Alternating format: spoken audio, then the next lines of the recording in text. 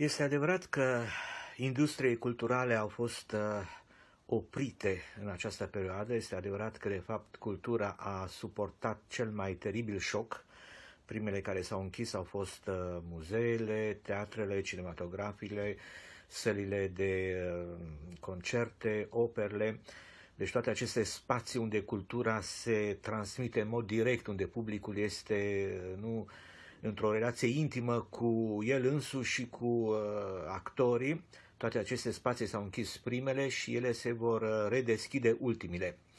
Deci cultura a încasat un șoc uh, general pe planetă, un fel de knockout din cauza virusului, dar în același timp tot cultura ne-a ajutat să rezistăm în perioada uh, carantinei, pentru că a fost probabil înregistrat un mare consum de cultură în tot acest timp, prin intermediul um, industriilor uh, numerice, prin intermediul rețelelor de socializare.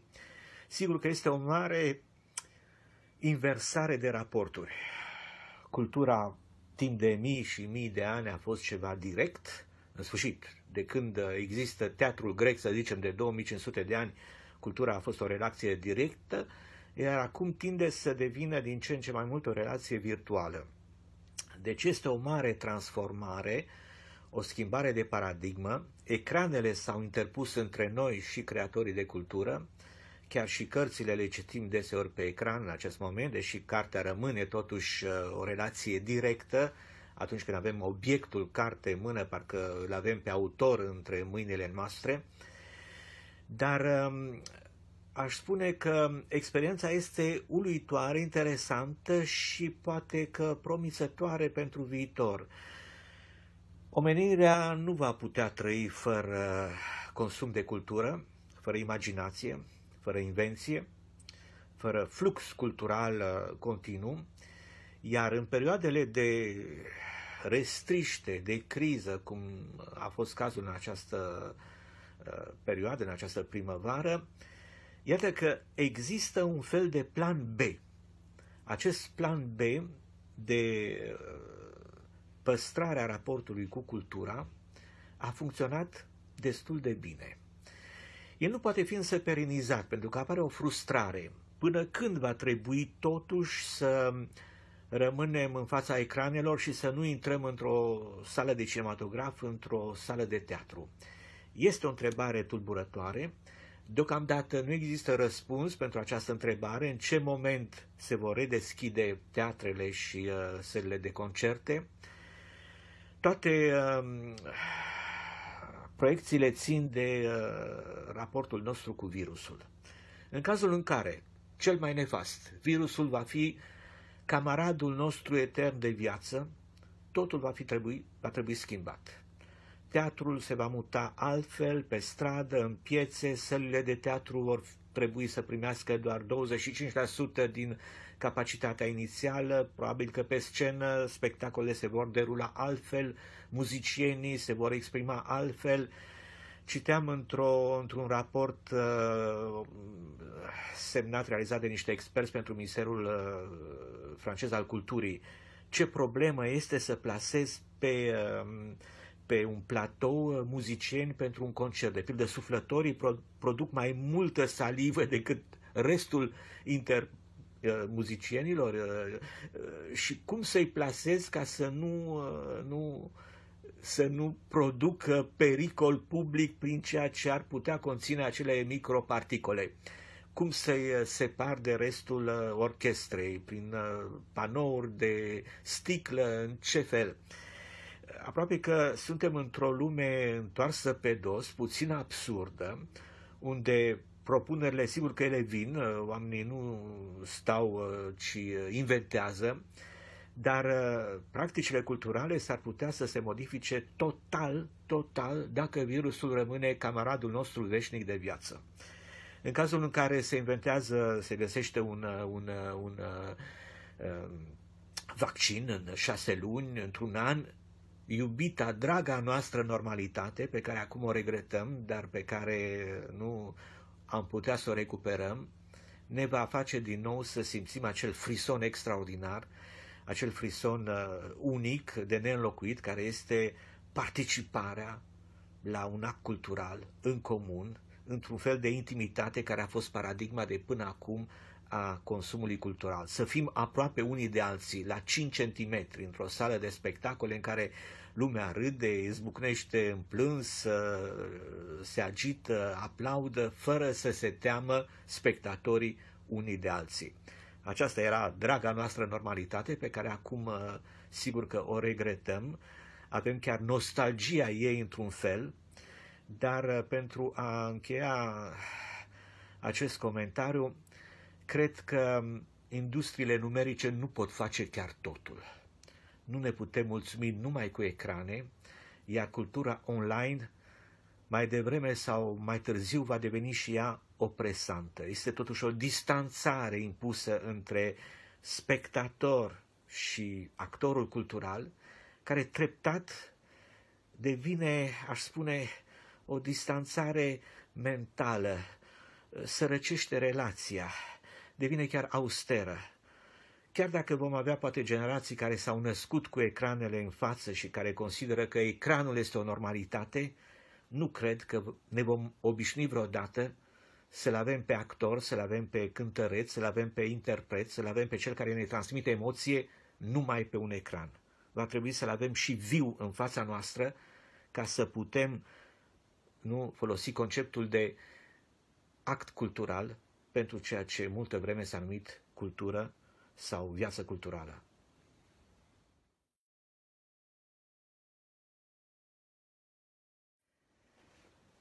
Da, într-un fel, această perioadă de criză și mai ales cele 55 de zile de carantină au fost momente de mare febrilitate, în primul rând reflexivă, dar am și scris în această perioadă pentru că nu voiam să pierd acest timp. În orice caz, am stat în carantină, dar am fost, ca să spun așa, am experimentat telemunca, pentru că am lucrat pentru Radio France Internațional de acasă. Am fost deci în contact cu presa, cu ceea ce au spus editorialiștii, jurnaliștii, oamenii politici, filozofii, sociologii, am ascultat emisiuni interesante, dezbateri interesante.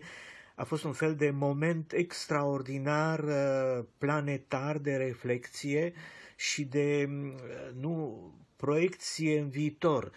Practic, nu știu dacă s-au mai spus vreodată atâtea lucruri interesante într-un timp atât de scurt, în două luni și ceva, multe, multe uh, angajamente morale pentru viitor și, într-adevăr, ar fi păcat ca să reîncepem să trăim la fel ca înainte de carantină, după carantină și după COVID-19.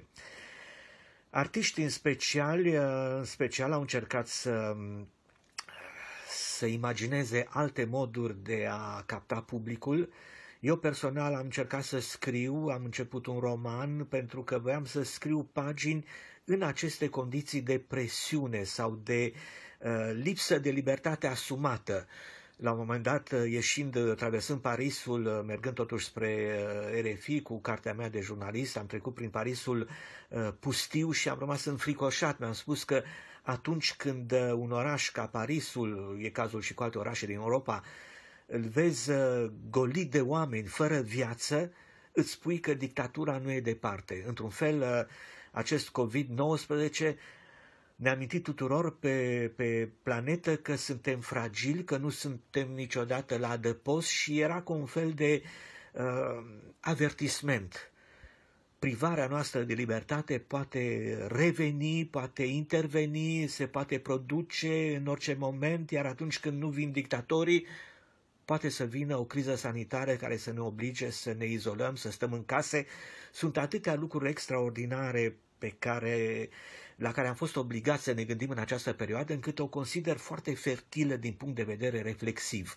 Mai rămâne acum să descoperim sau să uh, ne convingem că tot ceea ce am gândit, tot ceea ce ne-am propus în această perioadă nu va rămâne, uh, aș spune, ca un fel de, de, de, de, de uh, bule de săpun care se ridică în aer și se sparg, ci uh, baza unui nou tip de societate, a unor noi relații umane. Sigur că imediat nu se va putea face nimic, din potrivă, unele reflexe negative vor fi reluate, de pildă acum în orașul Paris uh, sunt ambuteiaje enorme pentru că oamenii preferă să plece la birou cu mașina decât cu uh, metroul, tocmai pentru că se tem de contaminări.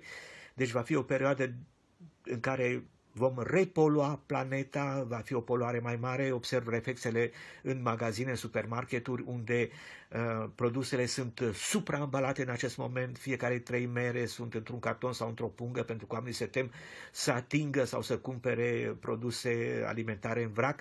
Deci sunt reflexe care, oarecum, sunt nefaste, de fapt, pentru planetă, pentru ceea ce ne-am propus să facem, să fim mai atenți cu planeta, cu noi înșine, dar um, învăță, lecția aceasta pe care ne-a dat uh, COVID-19 nu va fi transpusă în practică foarte ușor și foarte simplu.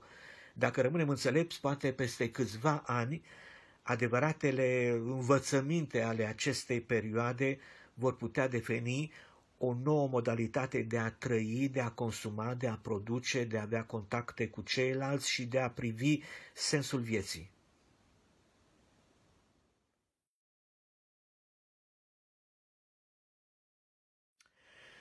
Cum a trăit artistul și din ce în această perioadă de două luni e o întrebare care trebuie, de fapt, repartizată pe categorii de artiști și pe țări. Sunt țări în care artiștii au fost protejați și este cazul cu Franța și am să mă refer la acest model de protecție care este absolut unic în lume și cred că alte țări ar merita să se inspire din el. În Franța există acest statut de intermitent de spectacol, sunt peste 260.000 de artiști din toate disciplinele care sunt protejați de statutul de intermitent de spectacol. Asta înseamnă că dacă anual ai un anumit număr de ore de muncă, după aceea obții indemnizație de șomaj timp de 8 luni și ai uh, asigurare socială asigurată. Asigurare socială, deci, uh, artiștii francezi au beneficiat de sprijinul statului și, practic, statul francez le-a prelungit până pe 31 august anul viitor drepturile, în așa fel încât aș spune că sunt printre cei mai privilegiați din lume artiștii și creatorii de cultură francezi, pentru că, iată, au din ce trăi până la sfârșitul lui august 2021 și în tot acest timp au posibilitatea să inventeze proiecte, alte maniere de a se adresa publicului, de a se adapta acestei noi situații, deci uh, un fel de respirație materială suficient de generoasă pentru ca ei să fie la adăpost și să poată crea, gândi, reflecta. Ce se întâmplă în alte țări este mai dificil de spus. În diverse țări europene artiștii sunt uh, protejați, în Germania, în Spania, în Italia, au fost uh, planuri uh, și uh, sume deblocate în favoarea artiștilor. Cred că mai confuză este situația în România.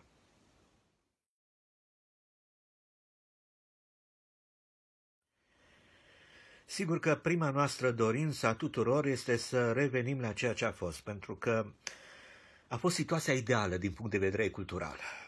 Industriile culturale au uh, funcționat bine, Europa a avut uh, și are, dacă iese din acest tunel, uh, o industrie a festivalurilor fabuloasă, care toate au fost sistate. Deci prima noastră dorință a tuturor este să reîncepem să facem cultură și să consumăm cultură ca înainte. În același timp, ceva trebuie reinventat.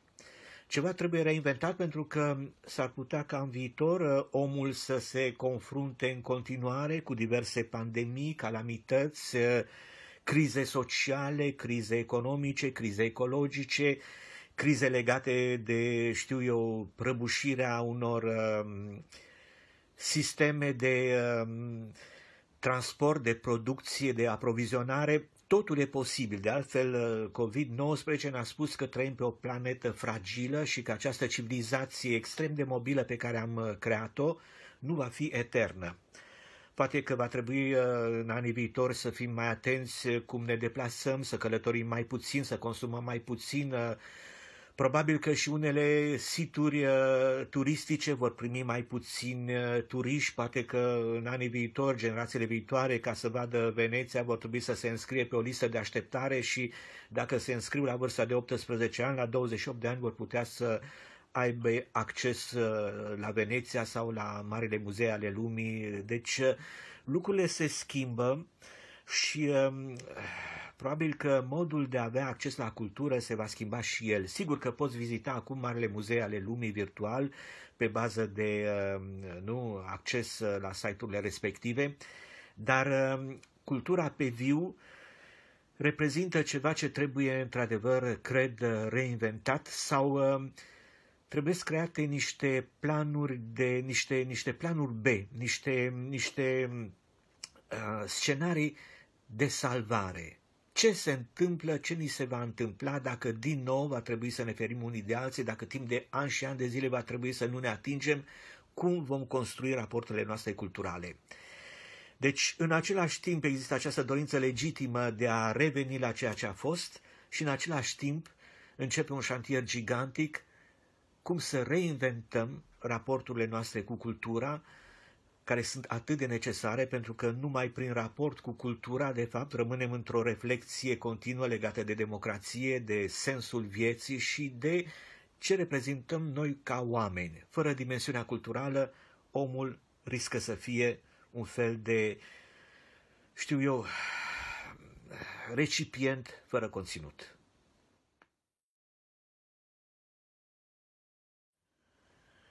Proastă cum e, proastă cum e, broasca țestoasă, care poartă pe carapacea sa pământul, când ajunge în dreptul meu, se blochează. Una e să mă ocolească pe la dreapta și alta e să mă ocolească pe la stânga. Două destine îi se deschid. Eu nu am voie să vorbesc, dar îi fac, îi fac semn cu ochiul. În stânga e abisul, durerea fără sfârșit, minciuna și ura. La dreapta așteaptă răul, vinovăția totală, moartea fiilor și uitarea. Nu există cale de mijloc, îi mai spun eu, gesticulând. Trebuie să te decizi. Dacă toate au un început, dacă toate au un început și un sfârșit, înseamnă că și moartea are un început și un sfârșit. De aceea stau aici cu voi. Aștept sfârșitul morții. Curios ca un copil aștept să văd ce începe după întrebările retezate ale morții. Nu mă grăbesc, aștept fără să protestez, știu că s-ar putea să dureze, știu că s-ar putea să rămân ultimul în sala de așteptare, eu și cuvântul moarte, lipit de cerul gurii mele ca un suflăr în cușcă. Ciudat toate lucrurile esențiale mi se spun într-o limbă străină. Moartea inventează cuvinte noi ca să-și ascundă urmele. Eu însă aștept. Aștept. Dacă toate au un început și un sfârșit, înseamnă că viețile noastre sunt niște comete. Ne vom mai întâlni unii cu alții, cu siguranță. Totul e să avem răbdare.